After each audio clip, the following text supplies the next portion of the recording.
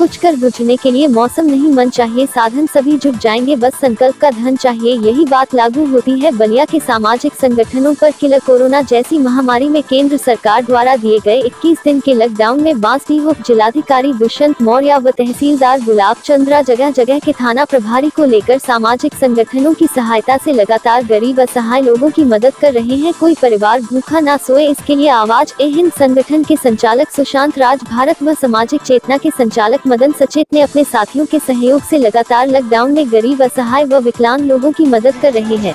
थाना मनियर जनपद बलिया के ग्राम फकरघट्टा में हम लोग हैं। हमारी पूरी रेवेन्यू टीम है जिसके साथ एनजीओ की टीम है आवाज़ हिंद की सुशांत राज जी हैं। और उनके माध्यम से यहाँ पर जो है सौ परिवारों के लिए राहत सामग्री इसमें आटा और आलू। आलू ये पर्याप्त मात्रा में दिया जा रहा है। सौ परिवारों को अभी यहाँ लाभान्वित किया गया है। इसमें हम इस समय हमारे एनजीओ टीम के प्रभारी सुशांत भी हैं, हमारे साथ थाना मनियर के सब इंस्पेक्टर हैं। उप जिला मजिस्ट्रेट भी साथ में हैं। मैं तहसीलदार बावली जनपद बलिया हूँ।